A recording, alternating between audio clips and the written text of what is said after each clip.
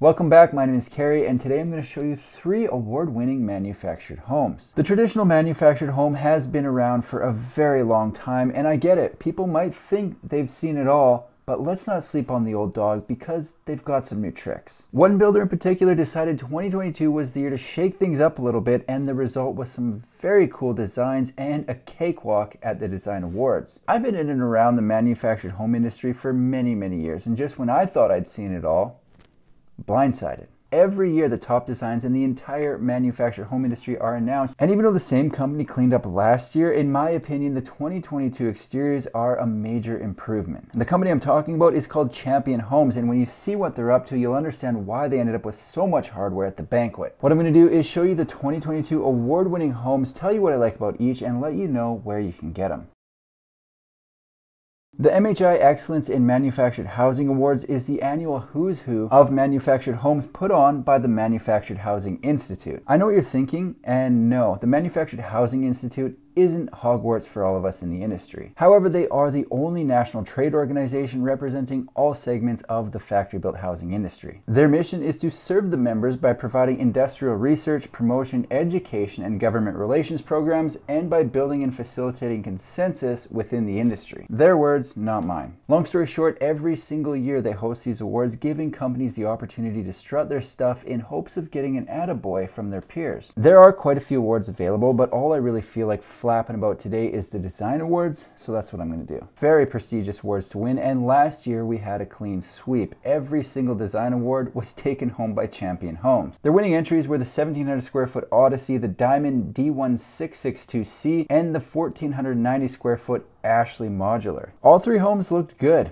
Sure, but I gotta be honest, I wouldn't say I was blown away with the exteriors on those homes, and since these are design awards, pretty important factor. This year's winners are a completely different story. All three homes have it going on in their own way and will appeal to a completely different buyer, so let's check them out.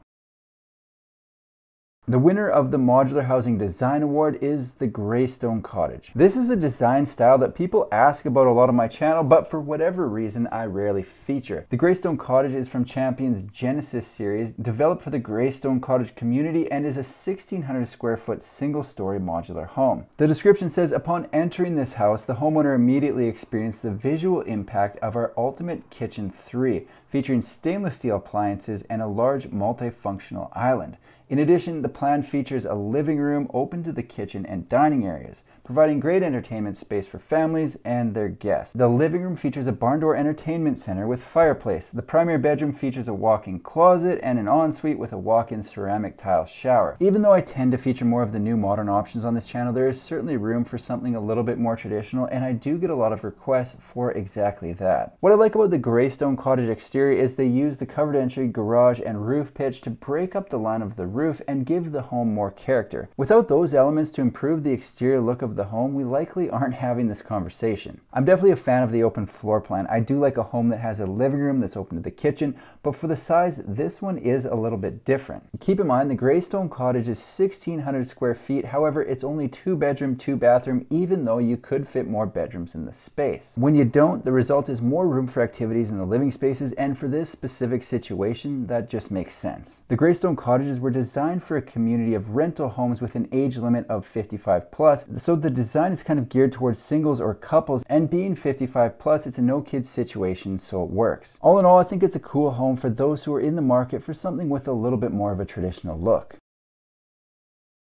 The multi-section manufactured home design of the year went to the Nova. Again, Champion Homes. Let me start by saying I think this is one of the best exteriors I've seen on a manufactured home from a high output builder. The description says the Nova has a modern flat roof which adds charm to the streetscape of the subdivision. It's accented with a stained wood front corner and the porch is covered with a metal awning that enhances the character. People sometimes ask me why the high output factories don't build exteriors like some of the custom prefab builders. The biggest difference between a high output builder and a company that has the capability to fully customize is usually how the factory is set up. To maximize output, companies like Champion will usually set up their factory production line style where the homes move through the factory from one station to the next. If there's a home that's a lot more complicated to build, it will likely take a lot more time at each station, slowing down every home behind it. On the other hand, custom builders usually use more of what I would consider a workshop style setup where they're building homes indoors, but the home they're working on remains in one spot inside the building and everything is brought to that home.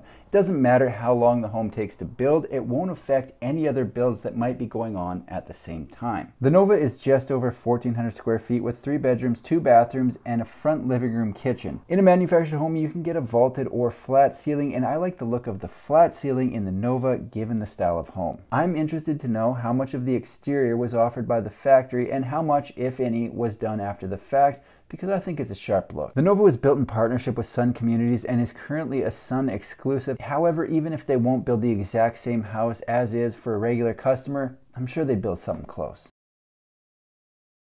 To round out the winners of 2022 was the manufactured home design single section with the Sydney. The Sydney is a very unique design and falls into the small footprint category that has been quite popular lately. It's a one bedroom, one bathroom home that's 748 square feet. The description says starting with the exterior of the home, you will notice a mono slope roof, which is unique on single section homes. A standard metal roof and composite porch decking adds stylish appeal. Standard transom windows on the high side of the house bring in natural light. The bedroom is well designed with elegant touches such as rolling barn doors for the closets. Between the closets are built-in dressers with counter space and room for a TV. The bathroom has multiple entries opening to both the hallway and bedroom. It includes a generous amount of storage and a standard 60-inch tile shower with rolling glass barn doors. This is a really cool design, but what I like beyond the layout is the fact that there's so much covered porch included right from the factory. Over the years of selling manufactured homes, I've noticed that people will buy a home with big plans and great intentions of what they want to add down the road, but a lot of times life gets in the way. If it doesn't happen right away, it's not uncommon for them not to add their dream porch or covered section of their deck that they originally planned. If it's available from the factory like it is on the Sydney and in the budget, I would argue it's better to get it done